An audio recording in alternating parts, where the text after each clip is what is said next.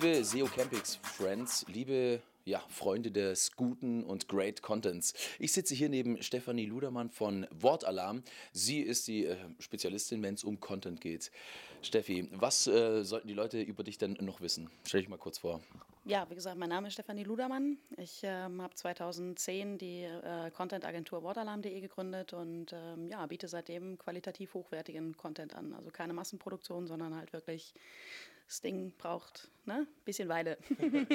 ja, ähm, an dieser Stelle nochmal herzlichen Glückwunsch. Dein erster cooler Campings-Vortrag ist gerade eben just in diesem Moment vorbeigegangen. Ähm, was war denn das Thema deines ähm, Vortrags heute?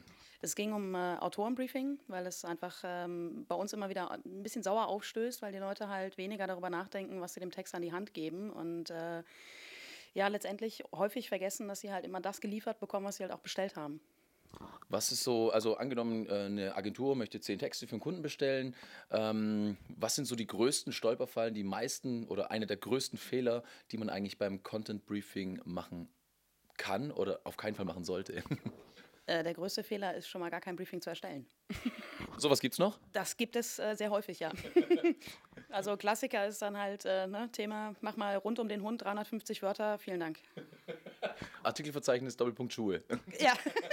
Genau das. Was gibst du denn ähm, Leuten an die Hand, wenn, wenn sie sagen, okay, ähm, Steffi, schreib uns coole Texte. Wie gehst du dann vor, um ein sauberes Briefing zu bekommen? Ganz klar die, die Struktur, Stilistik, ähm, dann so Sachen wie Zielgruppe. Also es ist relativ wichtig halt dann auch dementsprechend zu wissen, wie ist die Ansprache und, und wen soll es denn erreichen? Also geht es um Kinder oder geht es um, äh, soll, sollen wir irgendwie werdende Mamas erreichen oder Tierliebhaber oder wie auch immer? Und ähm, dann ist es halt schlecht, wenn man bei der Gruppe Ü50 zum Beispiel halt ganz krass sagt, ey du, ne, das geht dann halt nicht, das äh, geht nicht unbedingt auf. Ansonsten, ähm, ja, es ist eigentlich nur wichtig, wirklich sich fünf Minuten in sich zu gehen und zu überlegen, was soll der Text erreichen oder wen soll der Text erreichen und äh, dann funkt das. Was ähm, also hast du in den letzten Jahren, ich meine 2010 bist du dann gestartet, ähm, hat sich seit ähm, Pinguin, Panda, WDF, IDF, was auch immer, die ganzen Schlagwörter, die man immer so hört auf den ganzen Konferenzen, hat sich denn grundlegend beim, bei der Content-Erstellung äh, was verändert? Hast du qualitativ oder quantitativ eine große Veränderung gespürt? Ja, definitiv. Also gerade jetzt so, wo es äh, halt darum ging, dass Google sagt, legt ein bisschen mehr Wert auf qualitativ hochwertigeren Inhalt oder Mehrwert bietenden Inhalt, äh, sind die Anfragen deutlich äh, höher geworden. Das halt, ähm, weil die Ansprüche auch einfach höher geworden sind. Also es ist doch jetzt so langsam in den Köpfen angekommen, dass man halt nicht einfach nur hohles Blabla veröffentlicht, sondern halt wirklich drauf guckt, dass äh, man einen absoluten Mehrwert schafft. Wie gehst du mit äh, Preissensibilität um? Ist immer so ein Punkt. Ähm, es gibt Agenturen, die sagen, ja, ich darf maximal 6 Euro ausgeben für einen 300-Wörter-Text zum Thema Schuhe kaufen, was weiß ich. Wie gehst du, mit welchen Argumenten nimmst du Kunden oder Agenturen oder ja, deine, deine Partner an die Hand, um denen zu vermitteln, dass eben guter Content auch ja, Ressourcen bindet? Faktor Zeit. Also es ist eigentlich recht einfach erklärt halt. So ein, so ein ne, hohlen Blabla-Text, den äh, schreibe ich dir in, keine Ahnung, 20, 30 Minuten, ist kein Problem. Aber wenn ich halt wirklich was haben möchte, was inhaltlich gut aufgebaut ist, strukturiert ist, wo ähm, die Leser einfach sehen, hey, ich will da weiterlesen, dann ähm, braucht das Ganze einfach ein bisschen Zeit und äh, Zeit ist Geld.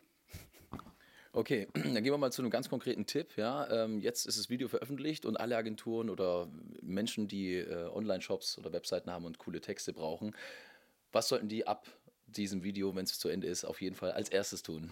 Mir eine Mail schicken. Und wo sollte die Mail hingehen? An info.wortalarm.de.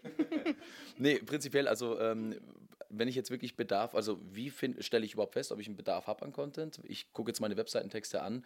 Ähm, wie gehst du beispielsweise vor, wenn jemand kommt und sagt, ja, können Sie mal kurz meine Webseite anschauen? Ähm, wo finden Sie hier Optimierungspotenzial, was den Content angeht? Wie gehst du da beispielsweise vor? Puh, gute Frage. Den Fall gab es bis jetzt noch nicht, muss ich ganz ehrlich sagen. Also es hat noch keiner gesagt, schau mal über meine Webseite drüber und sag mir mal, was ich besser machen kann. Wäre eigentlich eine gute Idee, oder? Wäre eine sehr gute Idee, ja. Danke. ähm, nee, aber ansonsten sollte das mal der Fall sein. Ja, wie gehe ich vor? Ich glaube, ich äh, würde wirklich halt ähm, mir, mir einige Minuten freinehmen und äh, halt wirklich komplett durchgucken, wie ist das Ganze strukturiert und aufgebaut und fehlen irgendwo Zwischenüberschriften oder sind die Absätze zu lang und gibt es einen gewissen roten Faden, der der, der sich durch die Texte durchziehen. Wenn das nicht vorhanden ist, dann ist äh, definitiv Optimierungsbedarf da. Klasse. Was machst du mit Leuten, die sagen, ich will einen 300-Wörter-Text äh, zum Thema Schuhe und da darf maximal 10 Euro kosten? Die dürfen sich dann woanders bewerben.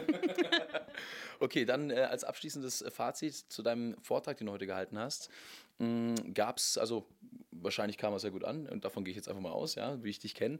Ähm, Gab es konkret Fragen vom Publikum? Wenn ja, wo waren so die, die meisten ähm, Wissenslücken oder wo ist dann der große Bedarf jetzt bei den Leuten, die zugehört haben? Die meisten Fragen kamen tatsächlich im Anschluss bezüglich WDF, IDF. Also mich wundert es ein bisschen, dass es immer noch nicht so hundertprozentig angekommen ist oder vielleicht auch nicht, noch nicht ganz wirklich verstanden worden ist, weil ähm, wir uns beinahe täglich so ein bisschen mundfusselig reden darüber und jedes Mal wirklich immer wieder erklären müssen, äh, so funktioniert das und so wird das aufgebaut. Ansonsten waren die Fragen ähm, ja eigentlich im, im Sinne von positivem Feedback. Also, dass einfach halt gesagt worden ist, finde ich gut, dass du es mal angesprochen hast, weil es halt doch eigentlich ein sehr wichtiges Thema ist, wird aber von keinem behandelt. Mhm. Ähm, wir, also wie geht ihr beispielsweise mit Anfragen, die jetzt sagen, ähm, ja, ich will Texte, die aber auch schön sind und WDF, IDF optimiert sind. Wie gehst du hier mit einer Argumentation vor, wenn jemand sagt, ich will auf jeden Fall WDF, IDF drin haben? Habt ihr Tools, mit denen ihr arbeitet oder sagst du einfach, oder was gibst du den Leuten dann in die Hand? Was gebe ich den Leuten an die Hand? Ähm, einen guten Text gebe ich den Leuten an die Hand. Nein, also letztendlich ähm, ist, ist das Ding, dass man äh, die Tools sicherlich ein Stück weit als Werkzeug benutzen sollte, einfach als Eigenkontrolle. Ne, weil ja letztendlich WDF, IDF äh, ein, ein Werkzeug von vielen On-Page-Maßnahmen ist, an dem man sich bedienen kann. Ähm, es reicht aber in der Regel völlig aus, wenn man ähm, bereits einen guten Inhalt schreibt und den dann einfach lediglich durch, durch die äh, Termgewichtung einfach ein bisschen anpasst. Also die Keywords ein bisschen dementsprechend runter oder hochsetzt, damit das Ganze halt ja, ein nettes Dokument wird. Ja. Super. Und da würde ich auch sagen, vielen lieben Dank, Steffi, für die tollen Insights zum Thema Content. Und wenn ihr, wie gesagt, gute, tolle Texte braucht, dann meldet euch bei info.wortalarm.de. Und damit, ähm, ja, viel Spaß noch an der restlichen Campings und bis zum nächsten Mal. Dankeschön. Thank you.